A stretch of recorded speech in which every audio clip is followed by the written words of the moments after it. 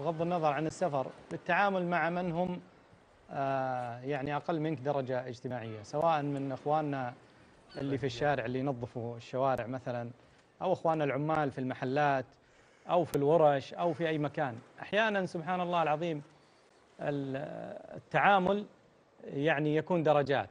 لما أنت تتعامل مع هؤلاء ربما فوقية. تشعر بنفسك فيها فوقية نوعا ما. لما يجي واحد مثلا كشخة وعنده سيارة معينة تحس إنك تنزل. ها؟ أحيانا تحس إنه أعلى منك مستوى. تحس إنك تقازمت. لا أنت لو أنت معتز بنفسك وأخلاقك كانت أخلاقك تستوي مع كل أحد. سواء هذا العامل ولا هذا اللي والله صحيح. كل كسلان المشت أنا بحسب امرئ من الشر أن يحقر أخاه، الشيخ محمد مختار الشنقيطي له وقفة مع هذا الحديث.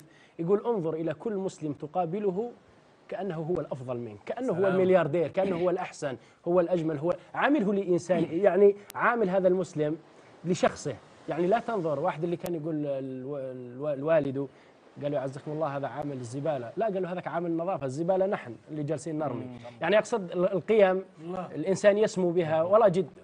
إيش؟ طب في نوعية من الناس ممكن أنا يعني آه، يعني أنزل معهم.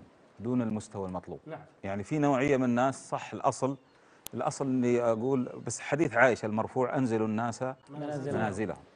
في كل كل واحد أو كل فئة من الناس لهم منزلة معي يعني مثلا العلماء العلماء لا يستوي. أنا أقول أنت مع العالم كأي أحد مع غيره. لا أتأدب معه بأداب النبي صلى الله عليه وسلم. تزيد. إيه؟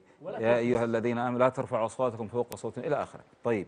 الأم والأب واخفض لهما جناح الذل من الرحمة. نعم. يعني في فئات من الناس لا الوارد من الشرع بالعكس هنا. لأنه التعامل إما أن يصل بك إلى العجب صح. أيوة. والكبر والغرور وإما أن يصل بك الحال إلى الاحتقار. إلى الاحتقار والتسفيه.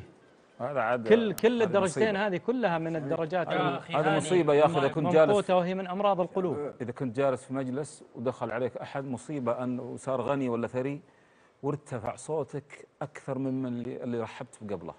يعني جاء. واحد عادي قلت تفضل الله يحييك. ثم جاء هذاك يا هلا وسهلا يا مر هذه ترى مصيبة. هذه شبكة المجد القنوات الآمنة للأسرة.